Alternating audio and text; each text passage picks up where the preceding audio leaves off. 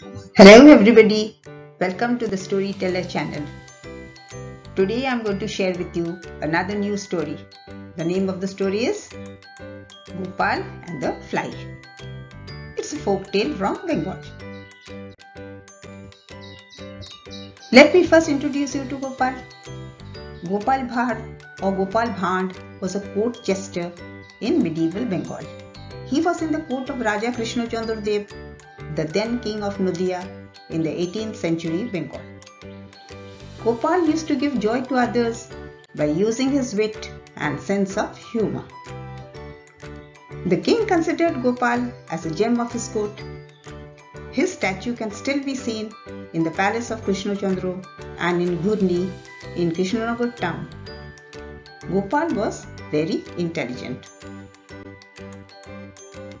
Now let me tell you the story. One afternoon, Gopal was late in returning home. The sun reached overhead and it was a dry, hot afternoon.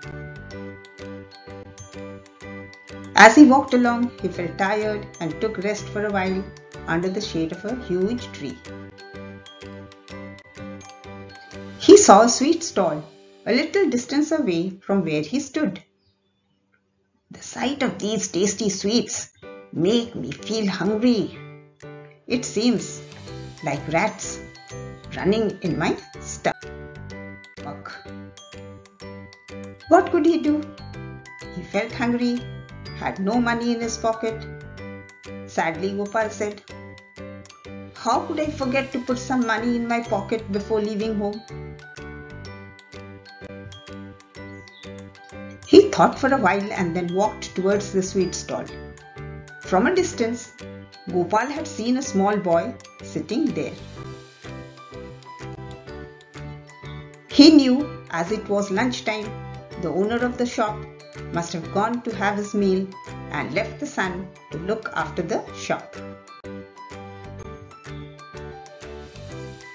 As he reached the shop, Gopal asked, Son, give me that pot of Rasgulla. I want to have a taste of it. The boy handed over the pot and immediately Gopal grabbed it and started eating them one by one. The boy was puzzled and asked, Who are you? Why are you eating all the sweets? Gopal with a mouthful replied, I'm your father's friend the fly. I come every day and eat here. You can call your father and ask him boy called out to his father loudly, Father, the fly is eating all the Rasgulla. What will I do? The father, who was having an afternoon siesta, cried out in anger, Let the fly eat and don't disturb me anymore. Gopal heard the conversation of the father son duo and he ate to his heart's content.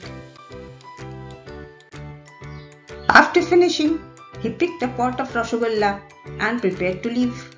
The boy said, Fly, you have not paid for what you ate.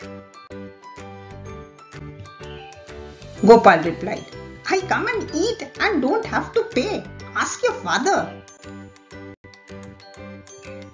The boy shouted loudly, Father, the fly has not paid and is leaving. What should I do? The voice from inside could be heard saying, You are so stupid! Does a fly have to pay for what it feeds on?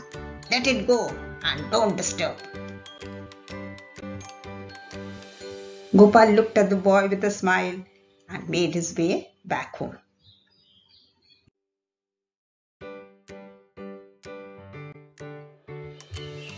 There is a lesson to be learned from this story. The lesson learned is when you have a will, you can use your presence of mind to achieve it. Like and subscribe to this channel. Thank you for watching. Till next time. Bye.